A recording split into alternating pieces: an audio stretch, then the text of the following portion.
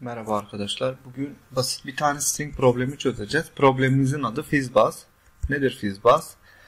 Ee, eğer sayımız 3'ün katı ise fizz, 5'in katı ise buzz. Eğer hem 3 hem 5'in katıysa yani 3 ve 5'e bölünebiliyorsa fizzbuzz döndüreceğiz. Bunun için bir tane fonksiyon yazacağız. Fonksiyonumuz bir tane integer alıp bir tane string döndürecek.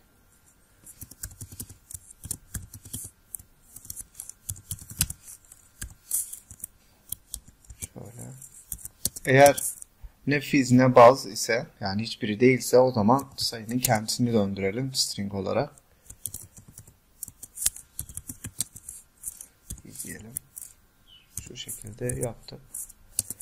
If dedik. Sayımız dedik. 3'ün katı ise yani 3'e bölünebiliyorsa 3 ile bölümünden kalan 0 ise o zaman fiz döndüreceğiz. İyi dedik. Üstüne. Tamam. Açacağım. Fiz döndürdük. Ama bundan önce dedik ki 5'in katıysa bir de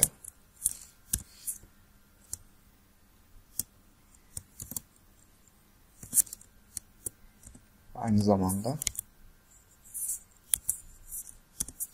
baz biz baz döndüreceğiz.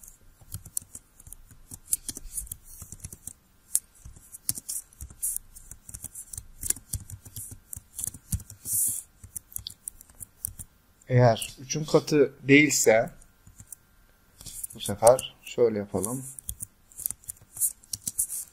5'in katı mı onu kontrol edelim.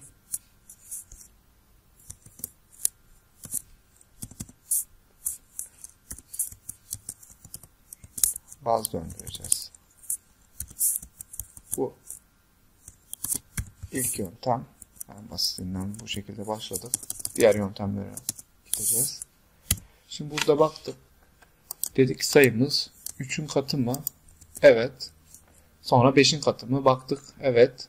O zaman fiz baz döndürdük. 3'ün katı mı? Evet. 5'in katı mı? Değil. O zaman fiz. 3'ün katı mı? Evet. Hayır diyelim bu sefer. 5'in katı mı? Evet. Baz döndürdük. Hiçbiri değilse sayıyı döndürdük. Şimdi bu problem bu şekilde çözüldü ama doğru mu? Şimdi bunu test ederken 3 mü? 5 mi? Ve tekrar tekrar bu if bloklarına gireceğiz. Bu şekilde kontrol etmemiz gerekecek. Bu şekilde test edersek hata yapma oranımız artacak. Başka bir yöntemle çözeceğiz bunu. Aynı şekilde bunun yerine ilk olarak 5 ile de başlayabiliriz. 5 mi 3 mü? Burayı da 3 mü şeklinde. Şimdi bu ilk yöntem. Bir test edelim doğru mu önce.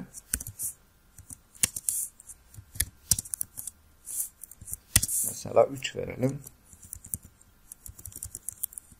Şuraya 12 verelim. Şuraya 7 verelim. Şuraya da 25 verelim mesela. Tam de her ikisine de bölünebilen 35 verdim ben. Buraya da e, 30 verelim ve çalıştıralım.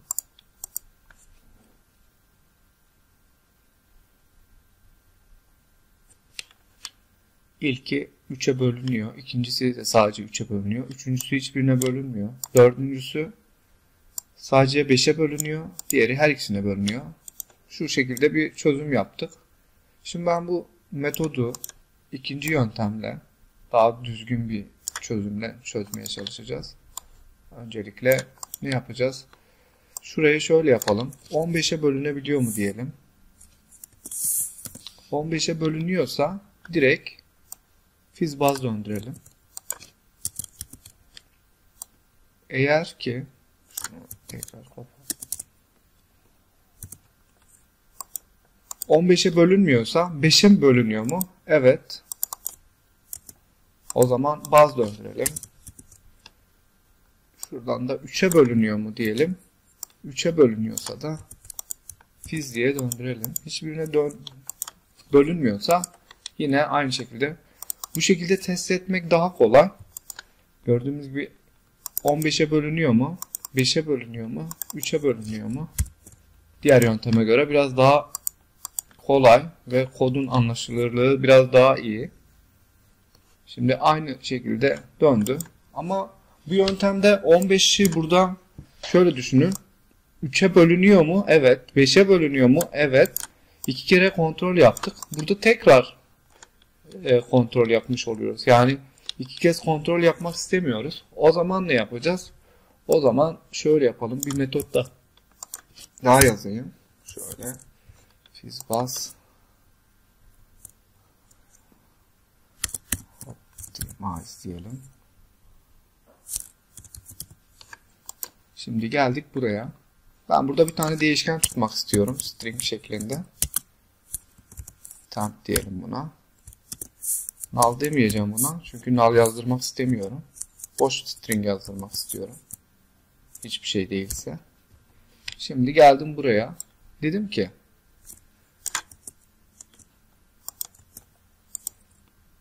Beşin katı mı?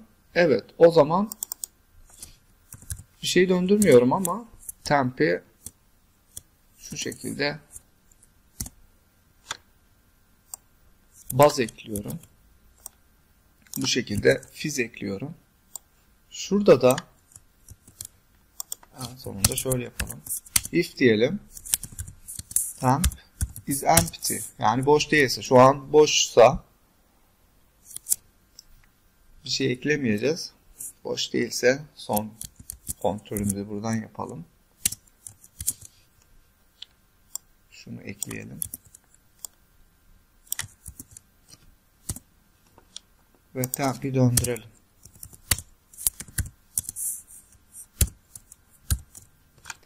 Gördüğümüz gibi buradaki test edilebilirliği daha kolay. 5'e bölünüyor mu? Evet. Baz ekledik. 3'e bölünüyor mu? Fiz ekledik. Burada 15'e bölünüyor mu? Şöyle yapacağız. Baz fiz olacak çünkü. İlk önce 3'e bölünüyor mu onu kontrol etmemiz gerekir. Fiz baz yazmamız için. Şu şekilde değiştirmemiz problemi çözecektir. Şimdi bunun aynısını tekrar çağıralım.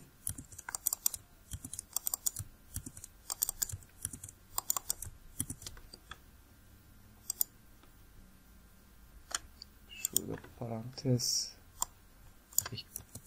sonra return edeceğiz.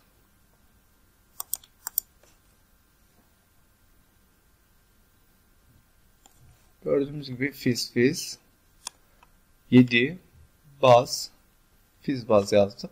Bu şekildeki yazım en doğru yazım olarak gözüküyor. Şimdi bunu Java 8'de bir tane function'la çözelim. En son olarak bir tane function yazalım. Yine aynı şekilde metot yerine function kullanacağız. Integer alsın. Bir tane de string döndürsün. Function diyelim. Fizzbuzz function aslında ismi. Şimdi aldığımız şey integer i alıyor. Şu şekilde yapalım. Aslında yaptığımız şey şurayla aynı. Hiçbir farkı yok. Sadece function'ı göstermek için yapıyorum bunu.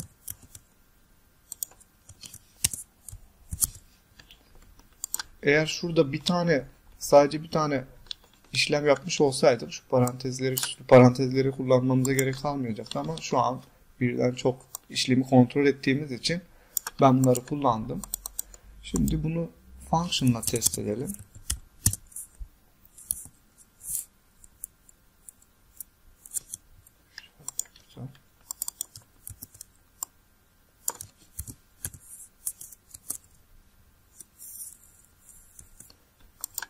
Function'ı daha önce tanımlamışız. Altında kullanmamız gerekiyor. Şurada function apply diyelim. Mesela yine 3 diyelim. 2 diyelim bu sefer. Şöyle birkaç tane 3 diyelim. Hatta 6 diyelim. 15 diyelim. 25 diyelim bu sefer. Ve 10, 18 diyelim.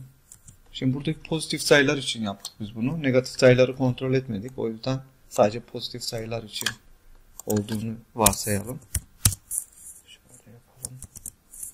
Belli olsun. Şöyle son bir kontrol yapalım. Geldik. 2. 6 3'e bölünüyor sadece. 15 hem 3'e hem 5'e bölünüyor. 25 sadece 5'e bölünüyor. 18 sadece 3'e bölünüyor. Gördüğünüz gibi bu şekilde. Problemi niye çözdük? Bu problemi çözmemizin amacı bir kodun daha kolay nasıl test edilebilir ve daha güzel nasıl yazılır aslında onu göstermekti. Yoksa gördüğünüz gibi problem basit. Bir sonraki derste görüşmek üzere.